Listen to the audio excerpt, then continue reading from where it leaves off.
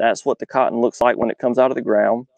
It has two little leaves. We call them the cotyledon leaves. And it'll stay like this for a few days. And it'll eventually get to where it puts on a true leaf. And there you have your more, uh, the beginnings of your more typical cotton leaf shape. Um, it looks a little more like leaves you would see on a, any other kind of plant or, or bush.